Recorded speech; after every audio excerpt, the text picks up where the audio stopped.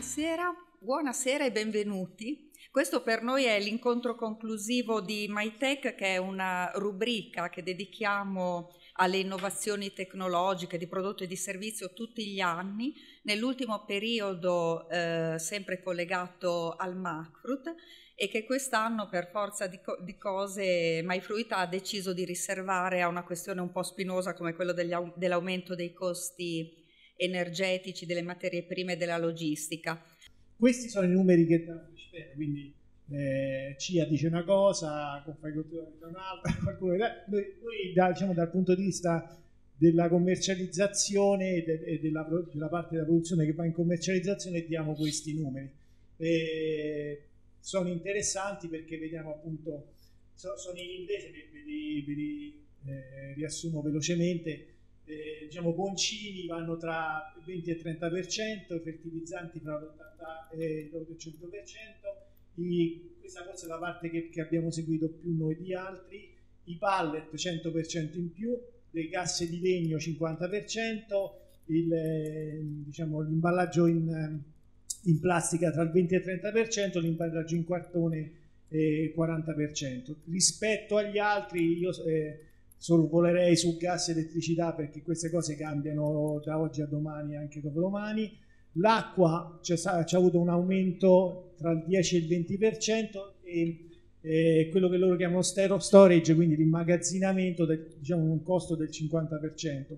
I macchinari tra 35 e 40 c'è stato anche un aumento del costo del lavoro il 10 Freshfell qui fa il conto finale, dice la produzione ha subito un incremento di, di costi di 10 miliardi la logistica abbiamo visto di 3,7 miliardi, circa 14 miliardi sono i costi eh, che gravano sulle, sulle aziende. La tabella in basso ci dice che se un prodotto pesante, quindi un, eh, una drubacea, una grume, eh, costasse in media un euro e mezzo, quindi con un aumento del 4% rispetto al, al prezzo medio di adesso,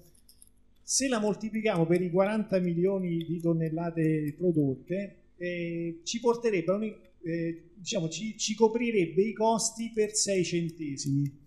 e, e varrebbe 2 miliardi e 400 mila euro. Eh, stesso discorso si potrebbe fare per i prodotti leggeri, se costassero in media 2 euro ci sarebbe un incremento dell'8% e, copri- e ci sarebbe un, 16 eh, centesimi coperti. Questo vuol dire che, che se se avviene questo, cioè se riusciamo a portare i prezzi a un euro e mezzo, a due euro, recuperiamo poco più della metà dei costi che subiamo perché il consumatore avrebbe un aumento di costi di 8 miliardi e 800 milioni. Quindi eh,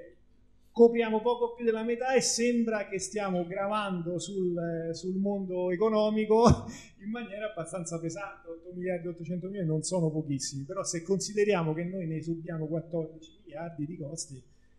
eh, la questione non è di, di secondo piano. Il problema Ci affanniamo che... intanto a dire che questa non è una crisi del 24 febbraio scorso, no? stiamo attraversando, non è solo il conflitto russo-ucraino, stiamo attraversando una fase di turbolenza che vedete noi mettiamo a confronto con il post crisi dei subprime del 2007-2008, siamo a quel livello lì di tensioni, questo è l'indice dei prezzi alimentari, non è l'indice dei costi, è l'indice della FAO che dice solo quanto volatile e ampio è lo scostamento dei prezzi delle principali commodity sul mercato mondiale. Siamo in una fase del genere che non parte da febbraio 2022, ma viene da un po' più lontano, viene dal post pandemia, dal dall'ultimo semestre del 2021 che ha visto... Dai. no. Allora, torniamo all'antico.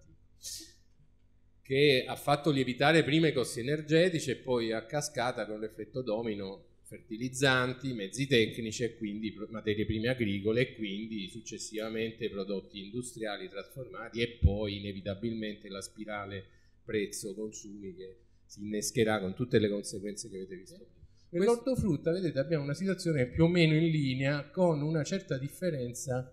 tra la frutta, dove c'è un rincaro sotto il 20%, comunque notevole, e gli ortaggi che invece hanno un rincaro di quasi il 30%. Tenete a mente questa differenza che è importante. Eh, qualcuno ha detto anche ma 15-20%, allora stiamo parlando di uno scenario tutto sommato ammortizzabile, contenuto, vabbè, Piero ha fatto vedere già dei dati prima che nell'esploso danno il quadro dell'impatto complessivo, ma io ricordo sempre che 15-20% di costi in più non scaricabili a valle della filiera con un incremento dei prezzi significa 15-20% in meno di reddito netto, di valore aggiunto e quindi di reddito per l'impresa. sfido chiunque nella propria attività economica, ma anche solo nel, nel reddito di famiglia di un lavoratore dipendente a far fronte a una, a una, una situazione del genere. Ogni azienda orticola più o meno dovrebbe perdere 27 mila euro l'anno a causa dell'incremento dei costi, un'azienda frutticola è qui sempre tra quelle più performanti 8.000 euro e mediamente si ha un calo del reddito, quindi del valore aggiunto del 38%, quindi stiamo parlando di un, in, tutta la, in tutta l'agricoltura italiana, ma un'azienda orticola ha un calo, vedete anche qui si legge sulla sinistra questo grafico, un calo della redditività di oltre il 40%. Io mi occupo dell'estero per Carton Pack e, e in effetti noi produttori di imballaggi siamo, eh, stiamo vivendo eh, un paio d'anni molto difficile, poi dipende molto anche dal prodotto. Noi eh, in Carton Pack eh, fabbrichiamo diversi materiali, quindi possiamo monitorare anche proprio la situazione eh, sotto vari punti di vista.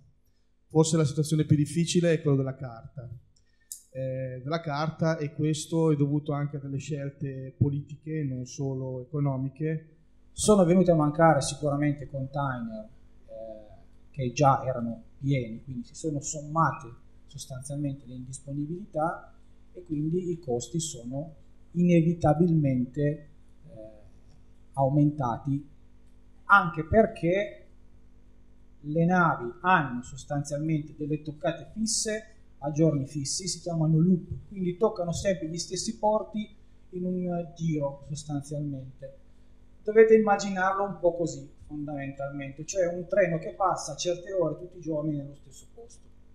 Da una parte se il treno è puntuale, la gente che è da immaginarsi come le aziende che producono e che continuano a esportare, sale sul treno con regolarità, il treno carica e va via. Quando il treno non è regolare, siamo anche là gente in questo caso cosa vuol dire? Che la, gente, la merce continua ad arrivare nei porti, ma la capacità di evacuare sostanzialmente il prodotto non è più la stessa. Sì, ma l'incremento dei costi, come fronteggiarlo? Eh, è un tema che, se vogliamo, interessa tante politiche no? e tanti quindi strumenti di politiche agricole che abbiamo eh, c'è il fronte intanto della concentrazione dell'offerta, del miglior posizionamento del prodotto sul mercato, la discussione se, di come e in che misura scaricare quel maggior costo della possibilità e di, del quantum si può fare, di come variare poi il pricing del prodotto che va sul mercato, acquirenti e reseller permettendo ovviamente, questo è un tema che gli ortofrutticoli, i produttori ortofrutticoli conoscono benissimo, si può intervenire su vari modi eh, per il contenimento dei costi, per ottimizzarli, per ridurli in qualche modo, per ridurre la dipendenza da alcuni fattori produttivi che sono diventati improvvisamente più cari, penso ai fertilizzanti o altro. Il PNRR è uno degli strumenti, è, uno, è, molto attuale, ci sono una serie di interventi che adesso vedremo che stanno partendo e che attengono anche alle possibilità di ovviare a questi a questi squilibri di mercato e aggravi dei costi, ma ce ne sono anche altri. Io voglio ricordare solo so, strumenti di politica nazionale come il credito d'imposta, oggi ne parliamo. Eh, sì, brevemente no? che cosa, cosa, abbiamo fatto noi. Credo quello che hanno fatto tutte le aziende, contenere i costi dove è possibile, però eh, vi dico anche se avessi trovato delle inefficienze pari eh, all'interno della mia azienda che avessero coperto questo aumento di costi avrei dovuto lasciare probabilmente l'incarico e quindi è chiaro che questo non può essere sufficiente. Eh, secondo noi alla fine, visto che non abbiamo delle leve per poter agire su queste cose, è il nostro approccio che deve cambiare. Quindi in una fase così turbolenta, in una fase così, eh, fatemi dire, veramente caotica, e che ormai è diventata o per un motivo abbiamo visto prima la pandemia oppure adesso la guerra, chissà domani che cosa potrà succedere, è diventata davvero un evento strutturale, cioè l'incertezza è elemento strutturale del nostro futuro personale ma anche aziendale. Quindi cosa fare? E a quel punto lì, insomma, noi ci siamo detti, vabbè, dobbiamo rivedere a tutti i nostri processi con degli, degli occhiali puliti, non possiamo più continuare a fare quello che stavamo facendo prima. Quindi abbiamo rimesso... Se penso all'incremento dei costi, nella mia testa viene fuori un, un numero, 60%. 60% è l'incremento eh, circa, l'incremento medio dei costi sui nostri prodotti negli ultimi due anni. Incremento dovuto ai temi che i colleghi hanno già citato qui durante questa, eh, questo speech di aumento di prezzi della materia prima, trasporti, Covid eh, e quant'altro, ma anche per noi è un fattore di incremento dei costi è lo shortage dei componenti elettronici che oh, in questo momento c'è, grande, eh, c'è un grande squilibrio tra, tra domanda e l'offerta. Zilabe ha reagito a questa situazione, ha cercato di far fronte a questa, a, a questa situazione. Come? E in parte abbiamo assorbito in parte i costi, quindi gli aumenti. In parte abbiamo trovato delle soluzioni interne all'azienda, ma anche sul mercato, in modo da rendere sostenibile la produzione dei nostri componenti, dei nostri prodotti. E poi, se dobbiamo pensare invece al eh, arginare i danni di, della guerra, eh, degli, degli Zirabe pensa di arginare i danni riducendo lo spreco alimentare per noi è stato molto molto complicato perché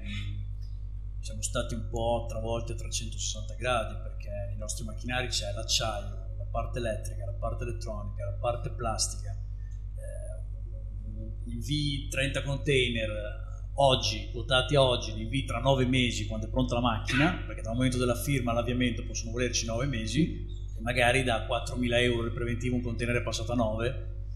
occorre che sia necessario coinvolgere il cliente in queste che sono le problematiche, cioè fargli capire che eh, la macchina arriva in un tempo più lungo dell'abituale, che già è un tempo che non è brevissimo visto che è impiantistica su misura e che quindi lui deve aiutarci ad aiutarlo, cioè che deve capire che i costi non dipendono più da noi, che la data di avviamento non dipende più da noi, che reperire certi materiali, certe cose non dipendono più da noi.